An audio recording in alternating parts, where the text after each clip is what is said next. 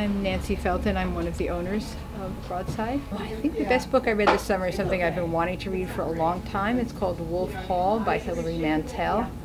And it's historical fiction about um, Henry VIII and Thomas Cromwell, who rose to become one, his most trusted advisor.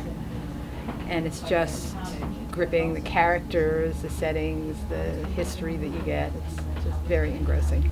Personally, the summer is a time that I'm less busy and feel that I can get into something that will require some work. So one summer I read Taylor Branch's um, history of the civil rights movement and it, it was wonderful to have the time and the space to delve into that. Particularly for high schoolers, there are the dystopian, there's a whole range of dystopian, Divergent, and there's a, um, I think Insurgent is the next one. Um, so this is a new series.